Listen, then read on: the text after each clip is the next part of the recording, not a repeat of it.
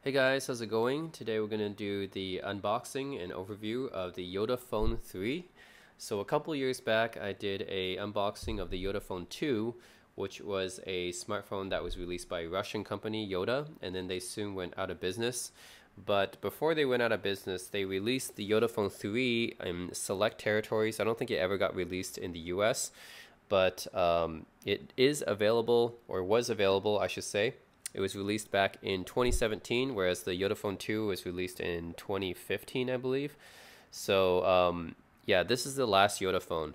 So uh, let's do the unboxing of it. I know this is an old device or a few years old device, but it is kind of unique because I do remember the original Yota Phone uh, 2 was one of the more unique devices I've uh, ever unboxed because it has two displays, right? So uh, interesting thing, this is in Chinese, so I believe the Yota Phone 3 was uh, had a limited release in China. I don't know where other territories they released in, but um, apparently it was released in China, and uh, that's pretty much all I know. So this is in Chinese, and then um, it actually comes with a, a, sort of booklet on the front here. So uh, you can read about the stuff here, and you can see, ooh, paper book experience, healthy eye protection. Modes of content. Uh, I don't know what that is, but I assume it has something to do with knowledge because this is the word for knowledge. But uh, yes, and then ooh, we get a nice white model here, of course, because white people are so popular in Asia. You got to use them for Chinese advertisement. All right, and it comes with a Chinese warranty and a Chinese quick start guide which I don't think Yota actually released this device in any other territories. It might be only China. Yeah. And then they went bankrupt last year, I believe, 2019. So that's unfortunate because, yeah, Yota made some pretty interesting and unique devices, which I will show you later in this video.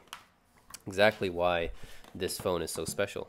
So um, yeah, this is the Yota Phone 3. And uh, just to give you a rundown of the specs, again, released 2017, so it has 2017 specs.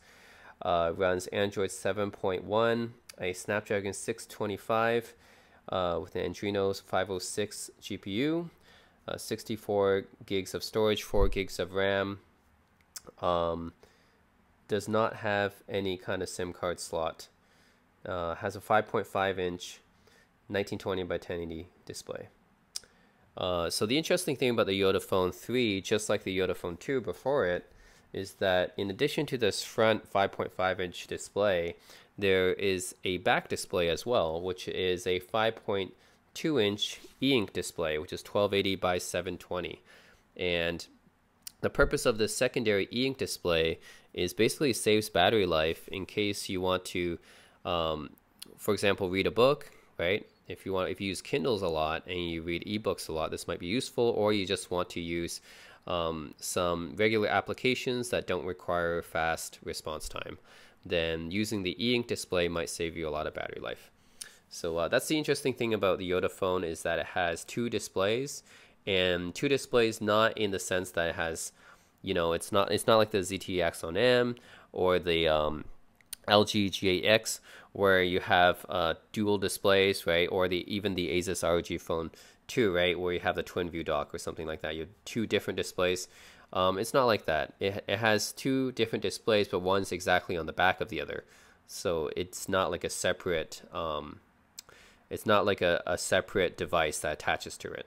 So that's what makes the second display interesting. Is it doesn't use a color display, uses an ink display as well.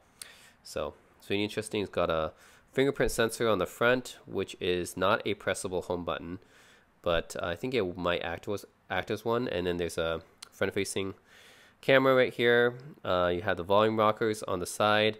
This probably the power button. And then uh, you have a USB-C charger, USB-C uh, port right here. No headphone jack, no micro SD card slot. So yeah, but that's you know 2017 is when all that stuff started to go away so i guess that's uh, when the writing was on the wall for that stuff uh, but yeah let's take a let's boot it up and take a look all right so this is the Yota phone 3 and uh, as you can see the wallpaper everything is in chinese as expected. And this is the interface, again, Android 7, which is an outdated version of Android, but again, this phone is from three years ago, so um, not too unexpected. Um, the camera, by the way, I don't think I mentioned the camera specs. It is a 13 megapixel camera on the back, f2.2. So nothing too special to write home about. Um, I guess it can take some okay pictures, but don't expect anything like a ga like a Galaxy S8 or um, iPhone 7 from that time or Pixel 2 from that year. Those are probably much better camera phones from that time. Um, yeah, it's just an okay one. And this is a, there is some haptic feedback on this button. So while you can't really press it in, it's definitely a home button. And then you can see some capacitive uh, buttons right here that light up, which is the menu icon and the back button. That's just standard Android stuff. Um, but in a different location than what I'm used to, I guess, because I've been using the Pixel for so long. Uh, but yeah, um, I guess it doesn't have access to the Google Play Store since this is a Chinese phone. Uh, Chinese usually don't have access to the Play Store since you know Google's banned in China. So um, they usually have to use this other app store here, which is uh, a bootleg kind of discount Google Play Store. Uh, so yeah, you have to get your apps from here, the discount Google Play, with the Chinese Google App Store or whatever that's kind of the downside of uh, using a phone that was made only for the Chinese market. um, and then there's the e-ink display right here. So press the power button again, and we can unlock the e-ink display right here. And uh, we can do some reading right here. And yes, this is actually display. And people who don't know e-ink, it's basically just like reading a paper document. Uh, like it's it's like reading a newspaper um, the response times are really slow, but it does save a lot on the battery. And uh, I guess when you're reading books and articles and stuff, it feels more like reading a newspaper, so that's a good thing too, I guess. Um, so I mean, doesn't look like it's a screen, right? It looks like it's just like a, a newsprint, right? Which is kind of cool. So, but it is a screen. So there are some apps for it. Uh, man, my Chinese is not good, so I can't actually I don't actually know what these are. Um, can, oh, it comes with Zhihu. Okay, let's see. Uh, oh, these are all apps. Web browser. Yep. So you can basically do the same thing here.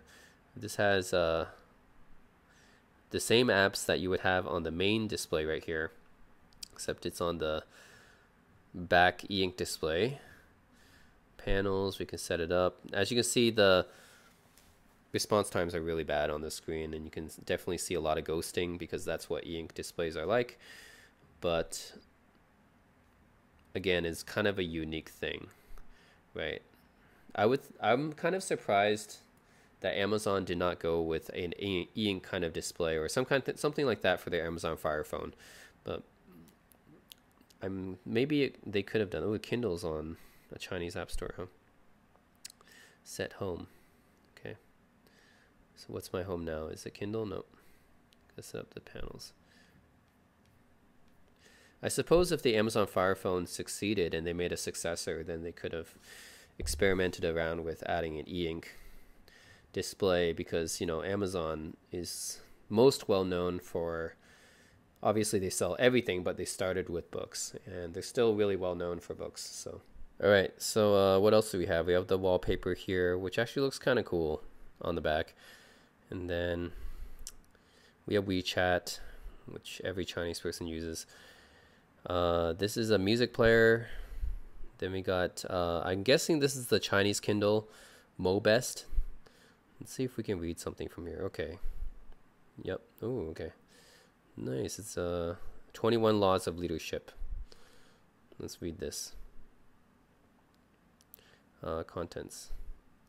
Yep, of course it's going to be in Chinese, but at least you guys can see what reading an ebook on the back screen is like. So, yeah, I mean, it is just like reading newsprint. So for reading documents and um, articles and ebooks, I think that this back display is quite good because one thing is it does it saves you battery life. You know, if you're reading a long book or something like that, um, or you do a lot of reading, then it could definitely save you a lot of battery life, and it just looks better. Like anyone who's used the Kindle Paperwhite stuff, uh, you know, like it definitely looks better than reading it on a Kindle Fire, right?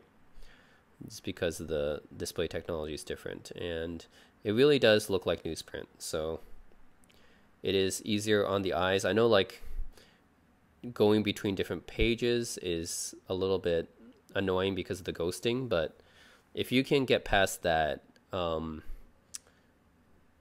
reading reading on the back display here on the e-ink display is quite a pleasure, I think. So, anyways, that's uh, just the demonstration of the using the back panel here, uh, probably for something like reading books or articles is what I would use it for. You're definitely not going to play games on the back display. Like that would be crazy, right? Uh, this basically for for stuff like this, and it, it is definitely I think superior to using a regular LCD or OLED display for reading books because it just feels natural, right? It, it's just like picking up a newspaper and uh, completely not glossy. It's completely matte and everything, no reflections. Uh, I just think it's more natural to read on this display. Um, yeah, and then there's uh, Kindle as well. I was I didn't even know that Chinese uh, that China had Kindle, but they do. So you can download your Kindle books there. And you can download more apps here. Anything you can download from the Chinese App Store, you can also put on the back screen. And then, in addition, you have the regular front screen for when you want to do regular stuff, right? You want to watch videos or you want to play games, then you have the the regular front screen, which is an AMOLED panel so this is an OLED display. When you need the OLED display, you want to watch media, play games, you have the beautiful OLED display here. But if you want to read some books, then bam, the back screen is available to you. Mobest or Kindle. Um, you can even play music from here if you want. Uh, or you use WeChat, although I don't know why you would ever use WeChat on an e-ink display, but it's there. Um, so yeah, you have the two displays available to you. That's what kind of makes the Yota phone unique. Uh, I mentioned this about the Yota Phone 2, and the Yota Phone 3 is basically just an updated version of the Yota Phone 2.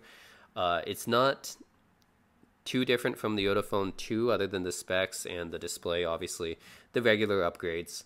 Um, but it's not drastically different. It's the same concept. You have the regular phone. It's just if you read a lot, like if you're a really you're you're a bookworm, and you like to read, then I would say this phone is is pretty good for you, right? But it's kind of a shame that Yota's not in business anymore. They went bankrupt last year. Uh, so you're definitely not going to see any more of these devices. This is probably the last one.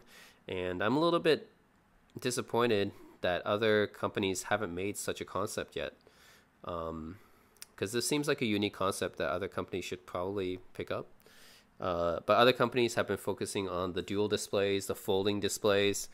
They haven't really focused on, you know, I guess this is really niche, but still, I guess uh, if you're the type of person to bring around a, a, a, smartphone and a Kindle, then this phone is probably for you, right? The Yota Phone 3. And being that it's from 2017, it's still usable today, very usable. I still use 2017 phones today. My Xperia XZ1, my Google Pixel 2, the Essential phone, like those still work pretty well today, even though it's it's old. But this device, I would say it's still usable today, even as just a regular phone.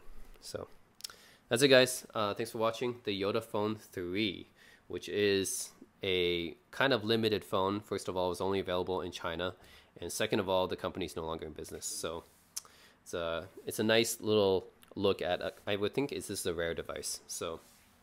Thanks for watching, and uh, let me know any feedback in the comments.